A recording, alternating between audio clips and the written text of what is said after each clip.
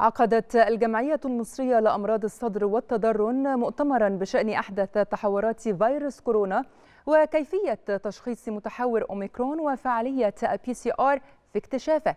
كما ناقش المؤتمر استعراض مستقبل التحورات الجديدة وما إذا كان هناك موجات جديدة لتحورات كورونا بالإضافة إلى الإعلان عن أحدث البروتوكولات العلاجية للتعامل مع فيروس كورونا بشكل مباشر.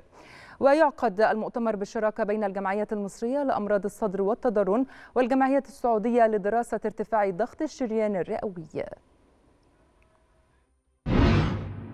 نوجد إن هذا التحور أكثر عدوانية أو أكثر إصابة بحيث إن عدد الحالات التي تصاب من المريض المصاب أكثر بكثير جدا من أي إصابات سابقة أو أي أنواع أخرى.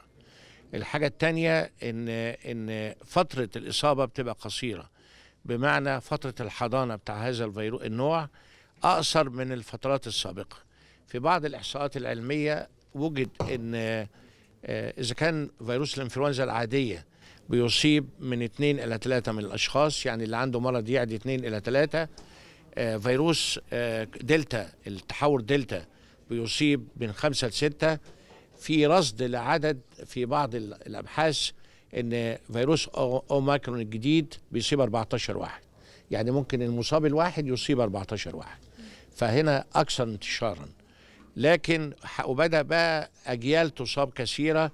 يعني بنجد إن أسرة كاملة الأطفال والشباب والكبار السن كلهم يصابوا نتيجة لواحد بس أصيب من هذا الفيروس.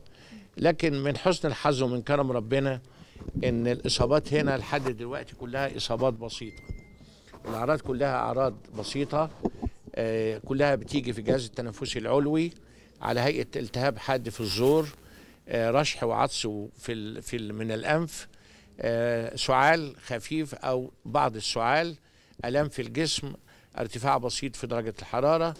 نسب الإصابة بالتهابات الرئتين أقل في هذا المتحور. الجمعية السعودية لأمراض ضغط الشريان الرئوي هي جمعية قديمة نوعا ما من يعني عمرها 15 عاما ومتقدمة بشكل أو بآخر في هذا المرض تشخيصيا وعلاجيا.